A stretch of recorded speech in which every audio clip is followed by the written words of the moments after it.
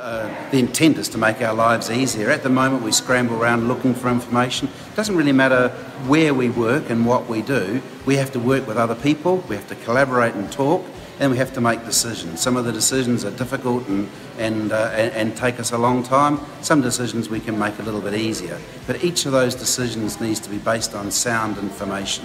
And what the STP, Strategic Transformation Project, is going to help is get that information to the right people at the right time so they can make the right decision.